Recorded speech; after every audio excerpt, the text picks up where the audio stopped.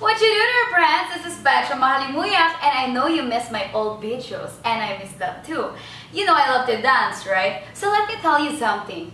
I went to this club one night, and you know, I was dancing around, having a good time, enjoying the music and all that. Then all of a sudden, I had a migraine. It was the worst feeling ever. I know for a fact that it wasn't alcohol because I don't drink. But anyway, I had to act like I was perfectly fine although I wasn't. Then I thought to myself, why don't I make a video about dancing while you're in pain? Well, today is your lucky day because I will be teaching you just that. This is how to dance while you're in pain. Like I said, I had a migraine that one night, right? So, the first dance is the migraine dance. What you do is you hold your head like this, like you're giving yourself a massage. Then you rotate it like you're writing a number 8. And also close your eyes para peel na peel. It's like you're enjoying the music, you're in the zone, all that.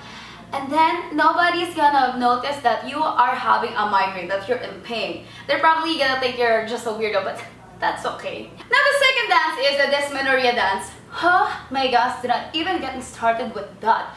You know what's the worst feeling ever? having your period, especially when you're in the club. You know, you're having a girls' night out, you're dancing like this, and then you're all like buskill, like it's a literal buskill, that period, okay? I hate it.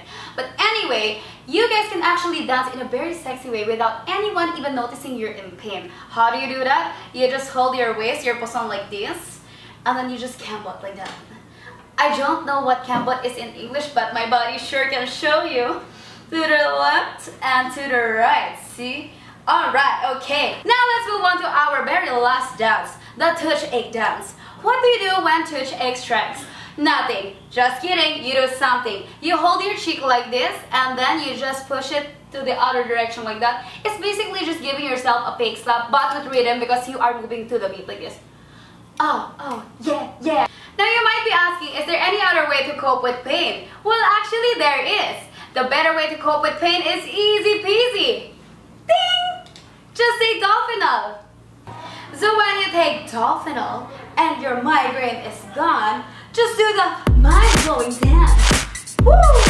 Oh yeah. Oh. No more dysmenorrhea. Do the disco diva.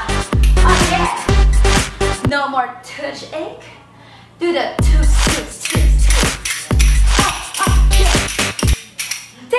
para laging good vibes. Para laging good vibes, mag-Dolphinal.